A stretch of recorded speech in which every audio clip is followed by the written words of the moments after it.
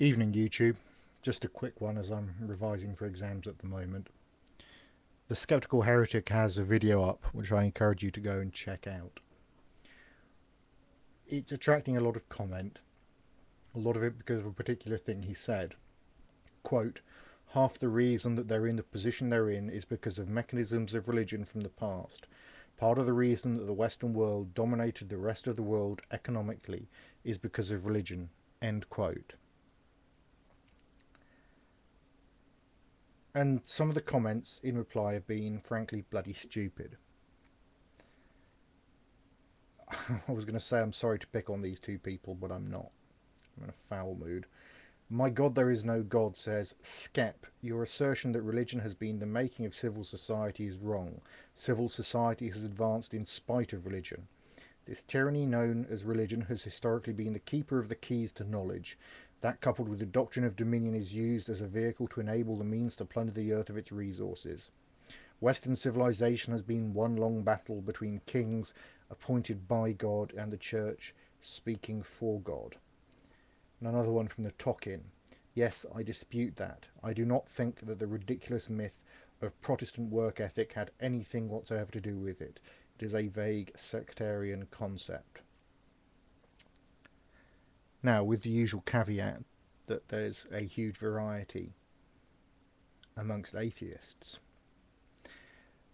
I think it's probably fair to say that a, a lot of the atheists on YouTube, in this little community of ours, would like to think themselves think of themselves as skeptics, as having some regard for what we might call the scientific method, and for evidence if you're going to talk about something, if you're going to completely dismiss it particularly, I think you have to be at least vaguely familiar with the evidence.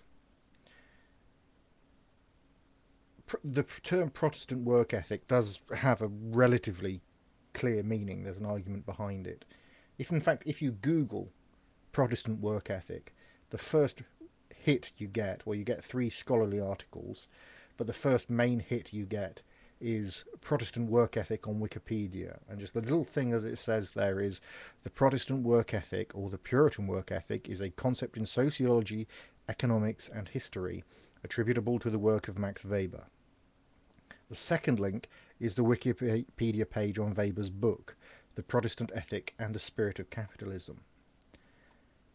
Now, I don't think Skep actually specifically mentioned it in the video, but I think the point stands if you're going to talk about something and just completely dismiss it and say no this is complete nonsense when there's quite a lot of work that's been that's gone on I think you have to provide something a little better than um, vague sectarian concept.